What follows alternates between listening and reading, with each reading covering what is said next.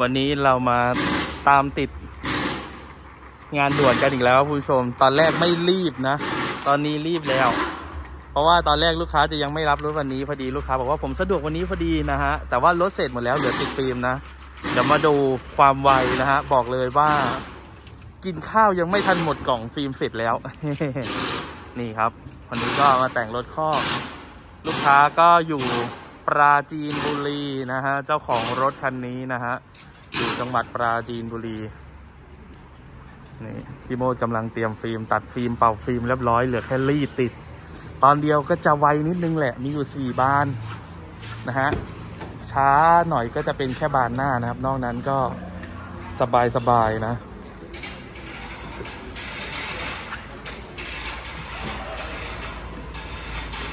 นี่ใครเผื่อใครอยากแบบว่า เขาเรียกว่าอะไรอยากลองเป็นช่างฟิล์มนะฮะอยากไปติดฟิล์มเองนี่ดูเลยว่าเขาทำยังกันยังไง ยากแค่ตอนตัดแกะไอชิ้นนู้นก่อนนะฮะแล้วก็แผงประตู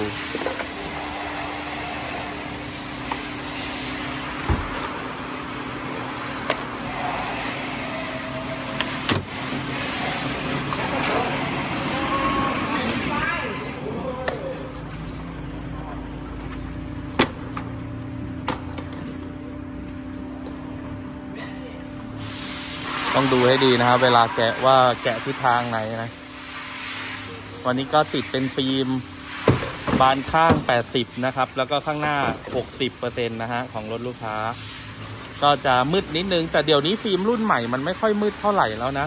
เหมือนเขาแบบเขาเรียกว่าอะไรอะ มันไม่ได้ดำมืดเหมือนเมื่อก่อนอะมันจะมีแบบว่าอะไรนะ มองจากข้างในออกไปแล้ว สว่างอะไรทำนองเนี้ยนะฮะ นี่ ต้องมีผ้ามารองด้วยนะคุณผู้ชม กันน้ำโดนพวกสวิตช์ไฟอะไรพวกนี้นะฮะ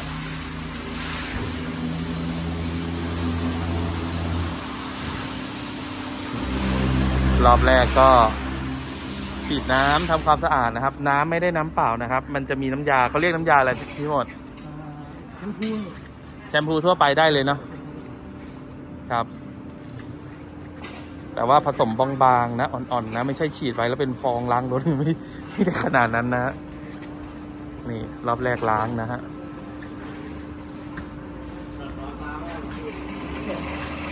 รอบสองนะครับ อันนี้ล้างสองรอบนะ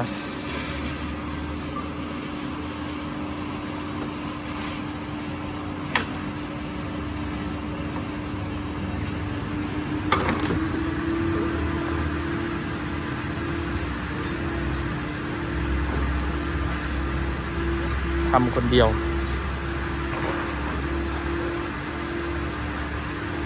ลูกค้าก็เมื่อกี้โทรไปบอกลูกค้าไม่ต้องรอตอนบ่ายก็ได้ครับเพราะฟิล์มแป๊บเดียวก็เสร็จนะพอดีลูกค้าเดินทางมาจากปาจีนบุรีนิคมอะไรนะ โลจนะอะไรอย่างเงี้ยนะฮะนี่แล้วก็มาฉีดที่ฟิล์มผมคิดว่าคันนี้น่าจะเต็มที่นะ อย่างช้านะไม่เกินยี่สิบนาทีปะ อาจจะไม่ถึงด้วยซ้ำเพราะนี่แค่ประมาณสองนาทีนะฮะ ก็บานแรกเสร็จแล้ว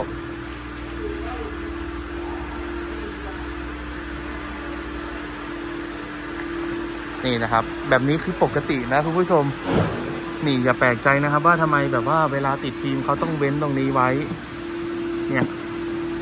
เพราะว่าถ้าสมมติติดบนสุดเลยใช่ไหมถ้ามันแนบไม่สนิทอะเวลาที่มันขึ้นไปเสียดสีกับข้างบนอะฟิล์มมันจะหลุด นะครับ เขาก็เลยต้องเว้นไว้หน่อยหนึ่ง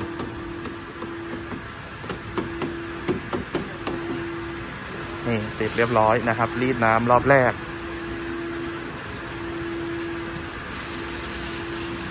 แล้วก็มาติดไอแผ่นใสนี้ รีดซ้ำอีกทีหนึ่งแผ่นใสนี้ทิ้งไม่ได้นะผมเคยถามพี่โมดพี่โมดบอกว่า ถ้าสมมุติว่าเราเอาไอ้ที่เป็นเกียงพลาสติกอะรีดกับเนื้อฟิล์มมันเลย มันจะเป็นรอยนะฮะ เนี่ยไออันเหลืองๆเนี้ย เราก็เลยต้องเอาแผ่นนี้มาลองแล้วก็รีดฟิล์มมันจะได้ไม่เป็นรอย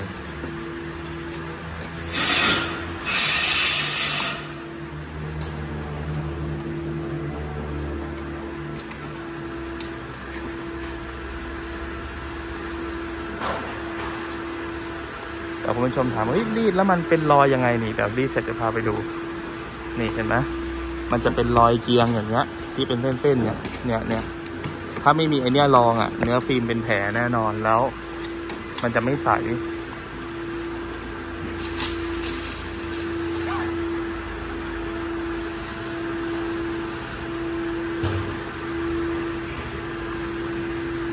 เรียบร้อยครับหนึ่งบานประกอบปืนไวไหมคุณผู้ชม นี่จากที่คุณผู้ชมดูคลิปนี้กำลังเริ่มติดนี่น่าจะประมาณแผ่นนี้นะ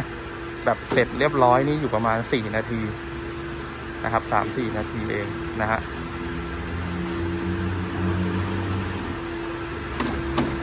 สู้เพื่อแม่ รายการปลดหนี้ ต้องรีบทำนี่ เรียบร้อยเป็นไง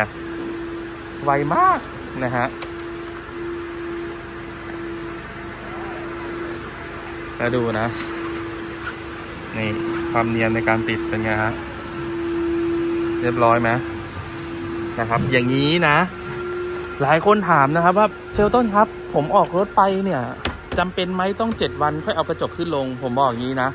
จากประสบการณ์นะครับ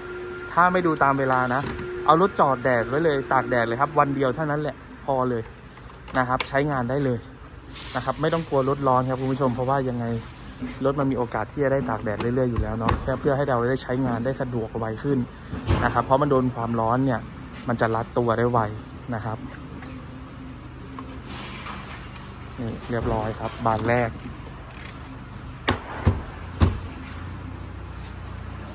วันนี้เราก็เดี๋ยวติดเสร็จนะฮะ แล้วก็นัดรับกับลูกค้าครึ่งทางนะฮะที่โคราชไม่ขึ้นทางหรอกก็ก็จะถึงศูนย์อยู่แล้ว แต่ว่าช่วยลูกค้าอยู่ประมาณ 50-60 โลนะครับ ผมเช็คให้ดู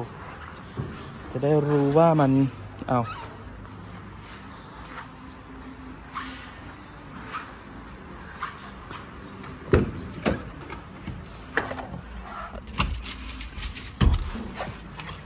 ดูนะฮะ แต่ติดมาทีแรกอะ่ะ มันอาจจะยังไม่ได้แบบว่าฟิล์มมันยังไม่รัดตัวนะ มันอาจจะไม่ได้ใส่กิฟไปเลยนะคุณผู้ชมเนี่ย มันอาจจะมีร่องรอยแบบนี้หน่อยนะ แต่เดี๋ยวมันรัดตัวปุ๊บอะ